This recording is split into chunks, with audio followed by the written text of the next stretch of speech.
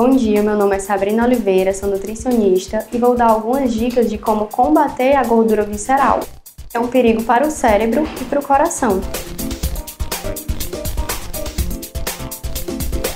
A gordura visceral, aquela conhecida como a barriguinha de cerveja, ela pode desencadear as doenças cardiovasculares.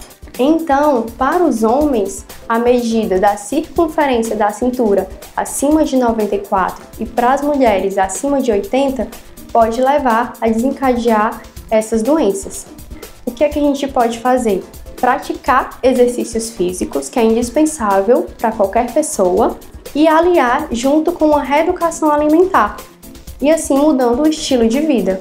Quais são esses alimentos que a gente pode começar a introduzir na nossa, no nosso dia a dia?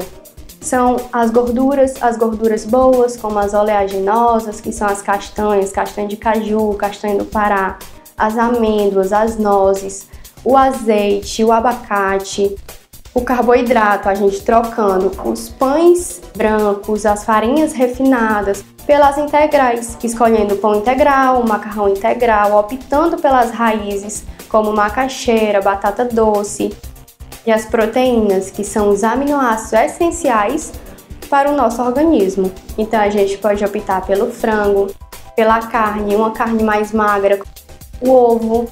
É, a gente precisa colocar todas as vitaminas e os minerais no nosso organismo e fazer essa mudança de estilo de vida.